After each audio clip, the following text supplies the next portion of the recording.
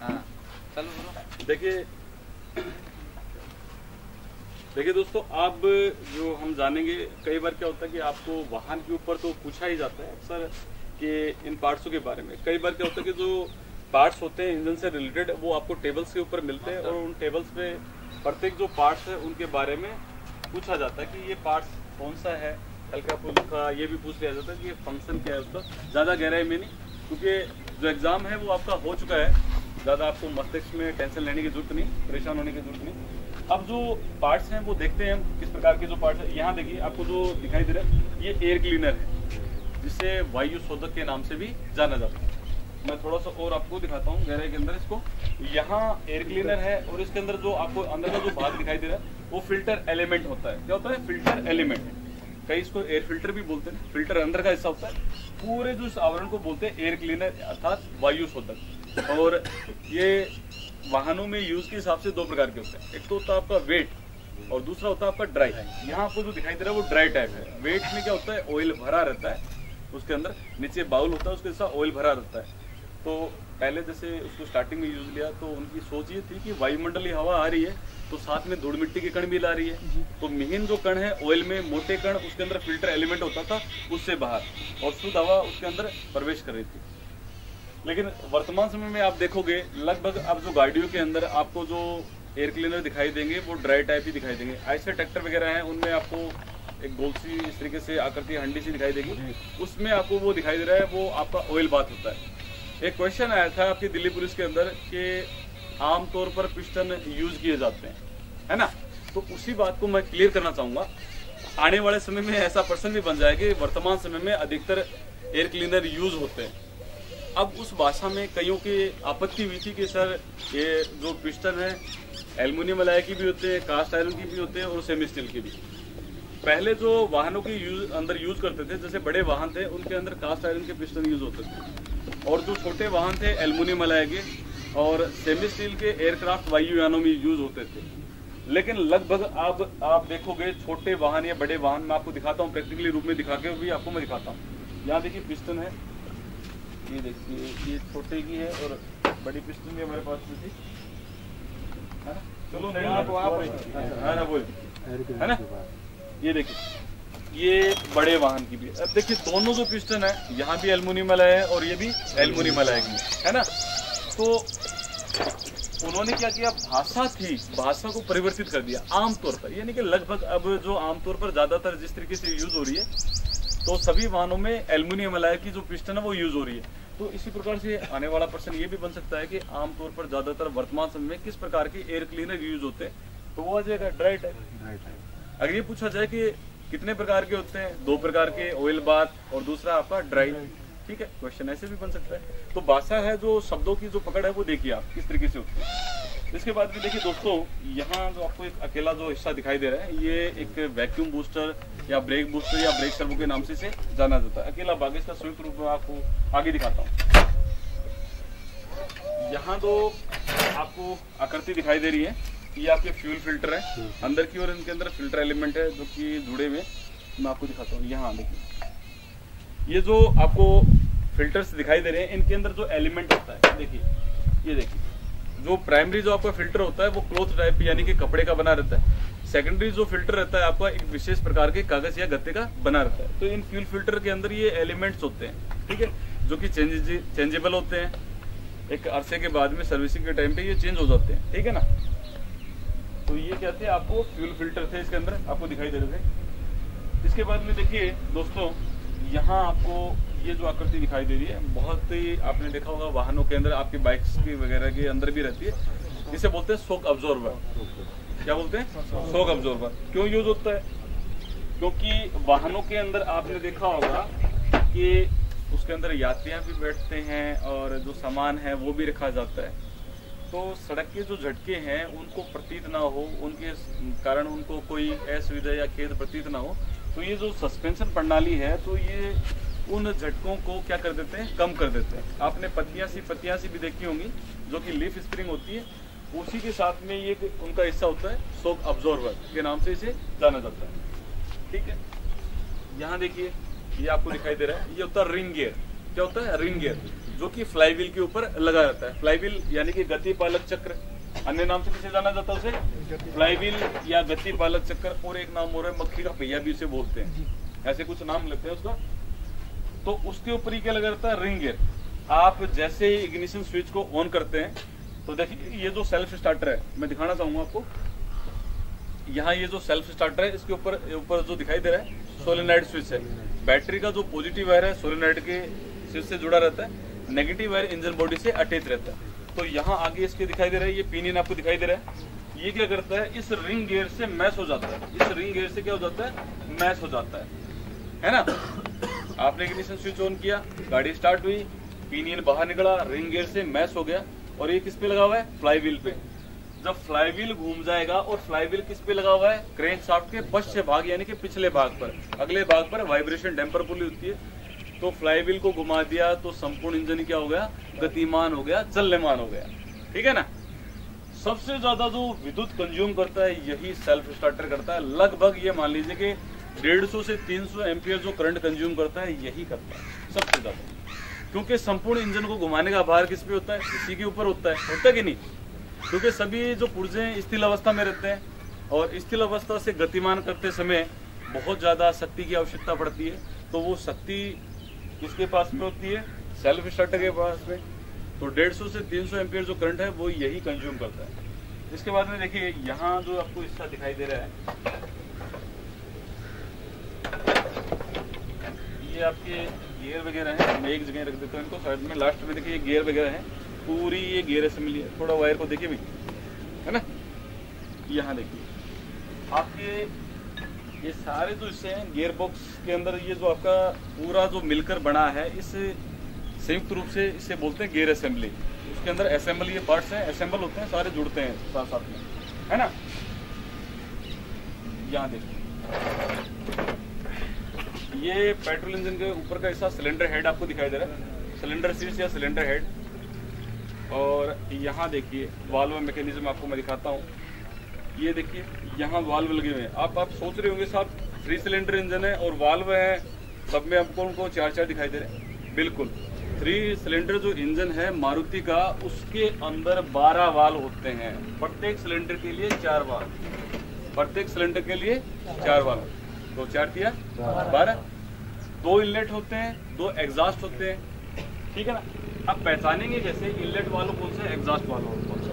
कोई बता सकता है भाई? देखिए, जो आकृति जिनकी मोटी होती है, जिनकी मोटी होती है, वो क्या होते हैं, आपके एग्जास्ट वाले होते हैं। और देखिए, ये काले भी हुए हैं। संरचना से भी आपको चल रहा है कि यहाँ इनका जो कलर है, वो काला हो रहा है। और जो कम आकृति, यानी कि जो थोड़े कुछ इनसे पतले हैं, वो कौन से हैं? इनलेट वाले हैं। ठीक है ना? मोटे हैं एग्जास्ट और जो पतले हैं, वो इनलेट है।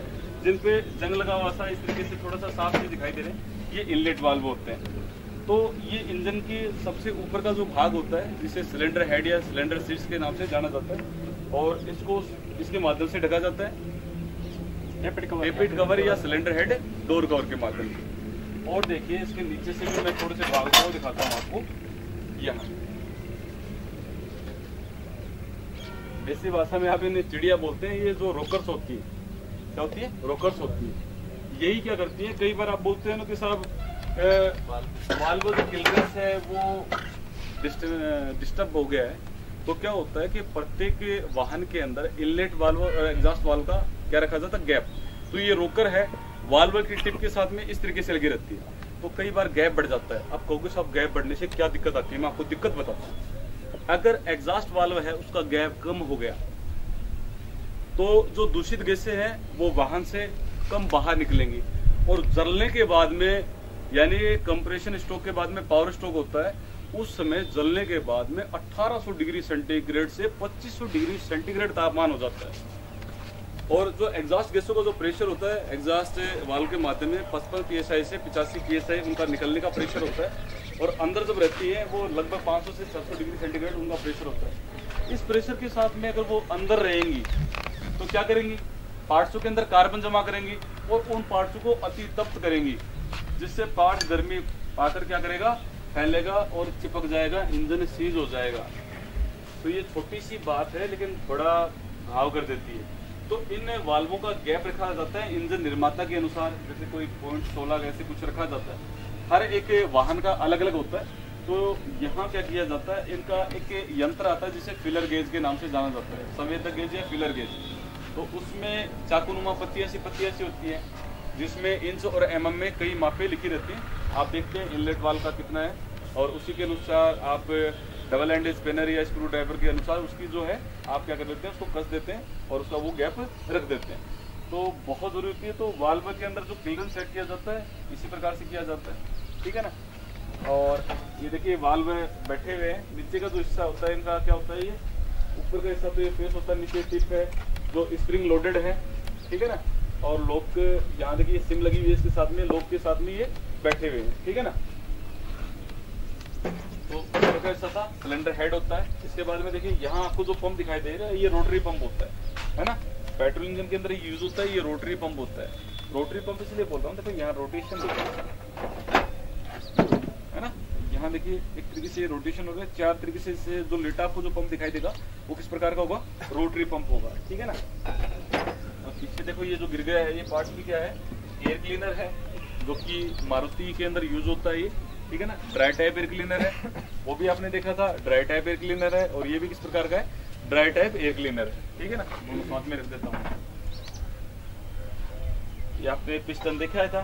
थोड़ा सा हल्का सा गहराई में चलते यहाँ जो पिस्टन आपको दिखाई दे रहा है पिस्टन का ऊपर का जो हिस्सा होता है, वो क्राउन या इसके शीर्ष के नाम से जाना जाता है। पिस्टन हेड या पिस्टन क्राउन और ये जो पिस्टन आपको दिखाई दे रहा है, यहाँ खड्डा भी दिखाई दे रहा है। पिस्टन विद कंबशन चेम्बर दहन कक्ष के सहित। यहाँ देखिए, ये जो खांचे कटे हुए ये रिंग ग्रूव होते हैं। क्या होते हैं? रिंग ग्रूव तो ऊपर की ओर जो रिंगे फिट रहती है, वो होती है कंप्रेशन रिंग और नीचे की ओर ऑयल स्क्रैपर रिंग गलती करते हैं बोलने में। है ना? कहते हैं कि सिगाना आ गया। अरे सिगाना चल के थोड़ी आप सिगाना पहुँच गए अपनी भाषा में त्रुटि है। है ना? तो यहाँ जो ऊपर की ओर आपको दिखाई दे रहा है, वो कौन सा होती है? रिंग ग्रूव होती है, जिसके अंदर कंप्रेशन रिंग संख्या की बात करें, कम से कम दो और अधिकतम तीन होती है। कंप्रेशन रिंग की संख्या कितनी होती है? कम से कम दो और अधिकतम तीन। नीचे की ओर आपको जो रिंग दिखाई दे रही है, एक विशेष आकृति में, देखिए यहाँ पर खांचे इनके अंदर कटे हुए ये होती है oil scraper ring oil scraper scraper यानी कि हिंदी में बोलूँ तो तेल खुर्चनी छल्ला। निम्मी लैंग्वेज में क्या बोलते हैं? इसको तेल तेल खुर्चनी छल्ला और ऊपर वाले को बोलते हैं संपीड़न छल्ला तो सिलेंडर की दीवारों को लुब्रिकेट करना भी बहुत ज़रूरी है। बार बार से पिस्टन जलेगी तो वहाँ फ्रिक्शन तो होगा। ठीक है? तो वहाँ उन सिलेंडर की दीवारों को लुब्रिकेट करने के बाद में ये ऑयल स्क्रैपर रिंग है, उसको क्या करती है? खुर्च कर नीचे गिरा देती है। ठीक है ना? और ये जो हिस्सा है पिस्टन का, यहाँ जो कटा हुआ गोल आपको दिखाई दे रहा है ये गजन पिन बोस या पिस्टन बोस के नाम से जाना जाता है। और भैया नीचे की ओर जो हिस्सा है इसको बोलते हैं स्कर्ट। क्या बोलते हैं? स्कर्ट। ठीक है ना? तो पिस्टन के विशेष यही भाग थे। और आपको पता है कि ये कनेक्टिंग रोड है जिसे संयोजक छड़ के नाम से भी जाना जाता है। कनेक्टिंग रोड संयोजक छड़ और योजक छड़। और ये जो हिस्सा है ऊपर का स्मॉल एंड बेरिंग है। क्या है? स्मॉल एंड बेरिंग ये वाला हिस्सा बिग एंड बेरिंग होता है। और ये जो है बिग एंड बैरिंग कैप होती है जो दो बोल्टों के द्वारा इसके साथ में माउंटिंग की जाती है। ठीक है ना? बीच का हिस्सा क्या होता है? सेंक होता है। तो ये जो स्मॉल एंड बैरिंग है, छोटा सिरा बुश, बड़ा सिरा बुश तो पिस्टन के साथ में इस तरीके से अटैच हो जाता है। और यहाँ इन दोनों को जोड़ने के लिए जो पिन यूज़ होती है, गजन पिन, कलाई पिन, रिस्ट पिन, बहुत से नाम है उसके है ना? तीन प्रकार की होती है। कौन कौन सी होती है? थोड़ा सा ये भी बता दो। सबसे ज़्यादा यूज़ कौन सी होती है? अरे टाइप्स फुल फ्लोटिंग पूर्ण पल्लवी। तीन प्रकार की होती है फुल फ्लोटिंग सेमी फ्लोटिंग और तीसरी होती है स्क्रू टाइप हिंदी में बोलूँ तो पूर्ण पल्लवी, अर्ध पल्लवी और स्क्रू टाइप ठीक है ना? तो सबसे ज़्यादा जो यूज़ होती है वो कौन सी होती है? पूर्ण पल्लवी, यानी कि फुल फ्लोटिंग वो यूज़ होती है। तो फुल फ्लोटिंग जो होती है, वो इसके अंदर डाल दी जाती है। और लास्ट में देखिए, आपको एक चीज़ और दिखाई दे रही होगी। वो बाहर ना निकले। तो यहाँ एक लॉकिंग ग्रूव है। इसके साथ में ये सर्कलिप आपको दिखाई दे रही है। तो नोज़ प्लायर की सहायता से क्या कर देते हैं, इनके अंदर इसको सेट कर देते हैं, जिससे कि वो गजन पिन बाहर ना आ सके। ठीक है? इस चीज़ को तो सभी जानते होंगे भाई। क्या है? हॉर्न है गाड़ियों के अंदर ज़रूरी है चीज़ है। दो प्रकार के हॉर्न यूज़ होते हैं गाड़ियों में। एक तो पुरानी गाड़ियों में कौन से थे? प्रीशर्ट है और वर्तमान समय में इलेक्ट्रिक हॉर्न है। ये हिस्सा है। ध्यान से देखिए कहाँ लगा रहता है? कहाँ? ये जो हिस्सा होता है आपका जो यूनिवर्सल यूनिट होता है उसके अंदर ये क्रॉस है है ना? इसे क्रॉस भी बोलते हैं। उसके अंदर का भाग है। इस तरीके से पूछ ले तो ध्यान रखना है अपन को बारीकी से सभी चीज़ों का। तो यूनिवर्सल के अंदर ये जो क्रॉस होता है, वो होता है। ठीक है ना? और यहाँ ये ये देखिए, मैं आपको दिखाता हूँ। ये देखिए क्रैंक साफ्ट बहुत ही महत्वपूर्ण है। इंजन की बैकबोन रीढ़ की हड्डी, मेरू रिदम कई नामों से इसे जानते हैं। ठीक है? ये होता है इसका अग्रभाग यानी कि फ्रंट होता है, जिस पर वाइब्रेशन डैम्पर पुली लगी रहती है। ये क्रैंक का गियर होता है। और ये क्रैंक का पश्चिम भाग होता है जिसपे फ्लाई व्हील फ्लाई व्हील के बाद में क्लच असेंबली फिर इंजन गियर बॉक्स अब आपसे अगर कोई पूछ ले कि ये जो क्रैंक है कितने सिलेंडर इंजन की है तो ध्यान रखना भाई साहब। ये जो बीच में आपको एक सीट में जो दिखाई दे रहे हैं वो क्या होते हैं? मेन जनरल एक दो तीन चार पाँच। इनको छोड़ देना। इनको छोड़ देना और टेडी मेडी जो आकृति है वो देख लेना। एक दो तीन चार। अर्थात ये जो क्रेंक साफ्ट है, फोर सिलेंडर इंजन की क्रेंक साफ्ट है। पता चल गया ना? बीच वाले को एक सीट में जो है, उनको छोड़ देना मैन जर्नल्स को छोड़ देना और ये जो क्रेंक पिन है, उनको काउंट कर लेना, जो टेडी मेडी करती है। तो फोर सिलेंडर इंजन की क्रेंक साफ्ट है, अगर आपसे पूछ ले। और यहाँ आपको जो होल दिखाई दे रहे हैं, ठीक है? ये होल है लुब्रिकेशन के लिए, ठीक है ना? इसको भी तो लुब्रिकेशन चाहिए। इस पर भी तो जो पिस्टन वगैरह है उसकी कनेक्टिंग नोड बंदी रहती है। तो ये लुब्रिकेंट करने के लिए। ये बैलेंसिंग वेट होते हैं, जो इसको बैलेंस में रखते हैं। ठीक है ना? रख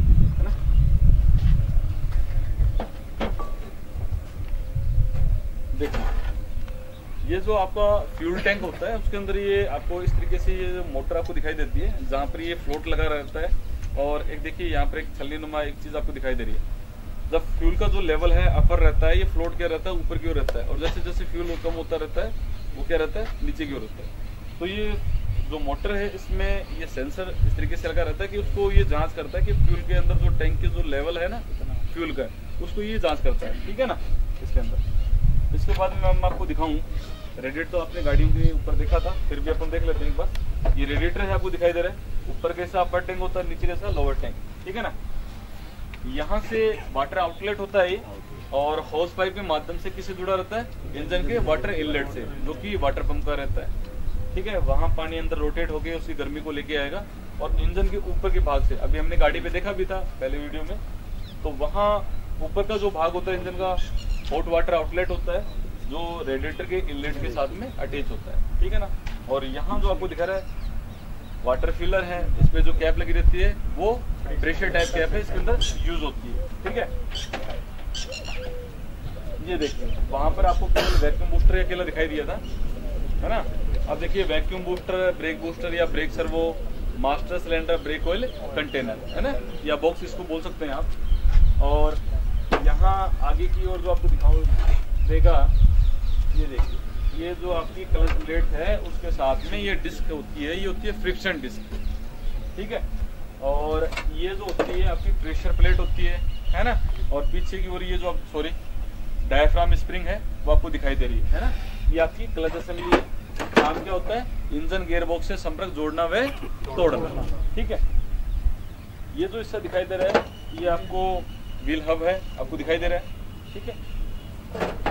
यहाँ सेल्फ स्टार्टर आ गया, जो कि छोटी आपकी जो वाहन है, जैसे कार वगैरह रहती है, उनके साथ में यूज़ होता है। ये भी सेल्फ स्टार्टर और ये मैंने आपको दिखाए थे फ्यूल फिल्टर्स हैं, जिनमें प्राइमरी फ़िल्टर में क्लोथ टाइप सेकेंडरी में विशेष प्रकार के कागज़ फ़िल्टर लगा रहता है। ठीक है ना? और ये देखिए, यहाँ पर जो दिखाई दे रहा है ऑयल फ़िल्टर नहीं है, ये फ्यूल फ़िल्टर है। इस पर लिखा हुआ है, ऐसे मत बोला करो। फ्यूल फ़िल्टर साफ़ साफ़ लिखा हुआ है। फ्यूल फ़िल्टर है। ये वाला जो है, ये ऑयल फ़िल्टर है। ना? यहाँ पे लिखा गया है एल यानी कि पूरा नाम क्या होता है? लुब्रिकेशन फ़िल्टर ठीक है ना? तो ये ऑयल फ़िल्टर है और यहाँ जो आपको दिखाई दे रहा है एफ़ आई पी पंप है फ्यूल इंजेक्शन पंप है ठीक है ना? तो किस प्रकार का है? इनलाइन फ्यूल पंप है यहाँ पर होल्डर्स आपको दिखाई दे रहे हैं और देखिए इंजन के जो अतिरिक्त जो केम साफ्ट होती है वो इसके अंदर भी होती है दिख रहा है क्या? अंदर की ओर। ये लोब्स दिखाई दे रहे हैं। एफ़ आई पी पंप के अंदर भी केम साफ्ट होती है। आपने सिर्फ़ इंजन के अंदर ही सुना होगा। एफ़ आई पी पंप के अंदर भी क्या होती है? केम होती है उसके अंदर भी होती है। और यहाँ पर ऊपर जो हिस्सा आपको दिखा रहा है फ्यूल फ़ीड पंप इसके ऊपर लगा रहता है और पीछे का जो हिस्सा रहता है, इसके अंदर क्या रहती है? गवर्नर रहती है, जो एक्सीलेटर वायर है, इससे जुड़ा रहता है। इंजन की स्पीड के अनुसार क्या करती है? गवर्नर फ्यूल की सप्लाई करती है। ठीक है ना? तो एफ़ आई पी पंप है इनलाइन फ्यूल इंजेक्शन पंप है और पूर्णतः मैकेनिकल टाइप रख दीजिए। ठीक है ना हाँ भाई ये क्या है